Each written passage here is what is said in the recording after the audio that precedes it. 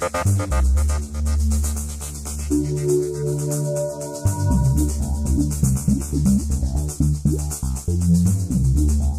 Diamond is a company on three different continents right now that sells their products around the world. One of our guiding principles is that we design products for the sports that we serve. We tend to compete in fairly small niches compared to, say, the auto industry. So when you're making a crampon or an ice tool or a ski, I mean, the market sizes are much more finite and the market requirements or consumer requirements tend to be much finer detail. We had a common problem, I think, where most organizations face, where the data that we were producing was being made in, in several sets of CAD modeling tools. It became a strategy of Black Diamond to try to stabilize onto an up-to-date, modern, and quite powerful design modeling tool. We were modeling a shovel blade, and the shovel blade didn't have any straight lines or parallel surfaces or anything simple. It was all very organic in uh, shape. So one package that we had been using previously was having a very hard time getting that those surfaces to thicken.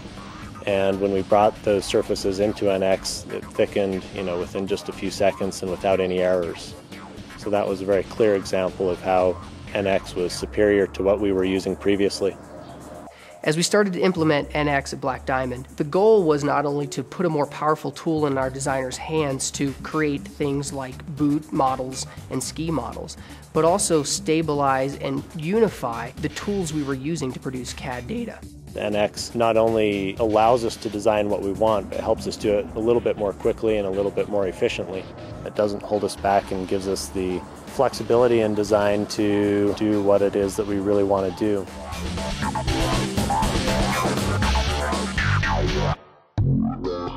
A boundary-free skier wears a free-ride boot to hike a mountain, far from conventional resorts, and then skis down private, pristine slopes.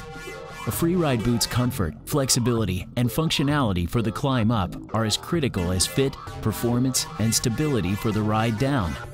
Black Diamond was determined to exceed the quality and performance of European competitors in this sector and found that NX was the ideal tool for their new free ride ski boot project. Black Diamond's been involved in boots for a long time, but we didn't ever start to finish handle the design and engineering and sourcing. It was a big project. This is called an Alpine Touring boot where it has a, a, rubber bottom to it. It has a bit of a rocker here so it's more of a natural striding boot. You're actually using your skis with a skin on the bottom to um, to go uphill, the boot needs to be lightweight and flexible for that. And an alpine boot, like an alpine racer, you want a big, heavy, stiff, burly boot for that kind of activity. And we wanted to bring those two boots together and be kind of in the middle with an alpine-like skiing performing boot, but a touring freedom boot. One of the biggest challenges with with doing a ski boot is that the combination of the fit and the uh, performance of the boot. There's no real separation between the two. The requirements are pretty difficult.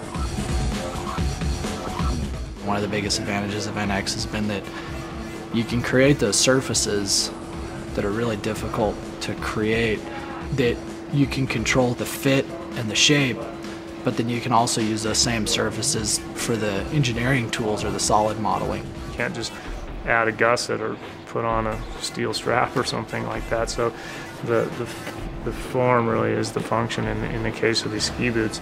You're always going to be adjusting for fit. But on a big plastic shell like this, a change to the tooling can take months or at a minimum it's weeks. And so if we're also adding weeks and weeks to the modeling end of that, it would be impossible to iterate. Like if we need to make a change, we need to be able to make it really, really quickly. The more familiar I got with the surfacing tools, the more I realized that it's a pretty powerful surfacing package. It's pretty unique to, to have all those surfacing tools and then be able to transition into a solid model. NX is what allows us to basically go from Class A surfaces, which we receive from our industrial design crew, and get all the way into first prototypes and into manufacturing. Being able to make relatively quick adjustments to the shape, but on a large, solid part, is a, uh, is really the big advantage. And it's it's not only faster, but there's a lot of packages where it's not even possible. We built the models in a way that we had constraints around the, the features that didn't change from one size to the next. And things like the last shape and the A surfaces on the outside, it's not just a linear scale. The, the foot, as your foot gets bigger and smaller, your, um, the relative change of different proportions on your foot are different. And so to take all those into account for the parts of the boot that had to adapt with the foot and the parts that had to stay constant with respect to the binding or components that were shared from one size to the next. And have those all as associative features in the history of the model. Where that helped me a lot is that if I set up a model correctly and use the right surfacing tools, that down the road, if a developer engineer came to me and said we need to pull this whole region out by four millimeters, you know, instead of having to go back in and resurface an entire boot, which takes a long time, I could go in usually pretty quickly and make the adjustments I need to maintain the proper tangency and the proper aesthetic that we were going for on the boot.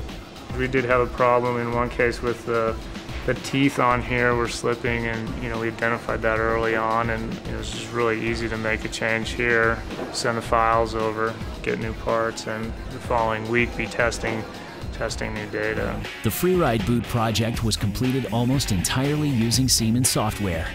And the power and flexibility of NX allowed Black Diamond designers to be innovative with the boot design, innovative in their process, and quick to make iterations.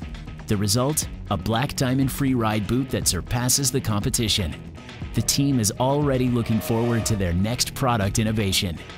We're working on the new generation of boots, and so this time around we're doing even more analysis. We're doing even more to optimize the weight and the structure of the boot so that we can make the boots lighter, stronger, higher performance without sacrificing what we've already learned. The more data we have and the more information we have, the, the better we'll be able to use things like uh, finite element analysis to drive our new designs.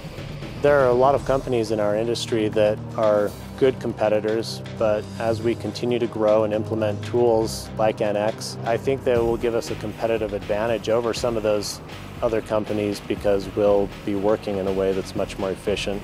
We won't be held back by our CAD tools, we'll actually be empowered by them to design products that truly will be able to lead in our market.